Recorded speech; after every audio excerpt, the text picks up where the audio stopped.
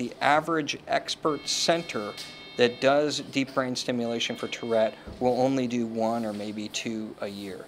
So how are we ever going to learn if we're seeing it in such small numbers? The International Registry for Tourette Syndrome Deep Brain Stimulation uh, is a large scale effort that largely is showing us that it's a reasonable therapy, that it is showing positive benefits, and that it is a reasonably safe approach for patients. A registry for a, surgical therapy like neuromodulation is quite unique. And it's something that, that's a critical need for the field as we begin to put out new devices. How are we going to track these? How are we going to know what do they do, short and long term? What are the side effects?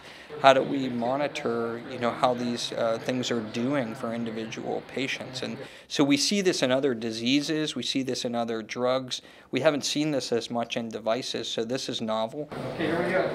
The pooled data that's coming in from all of these centers participating in the international registry is showing about a 44% reduction or improvement in tics on the standard validated scales, which is pretty impressive. It's hard to get that benefit with uh, an individual medication or other therapy, and so in the right patients, this can provide benefit.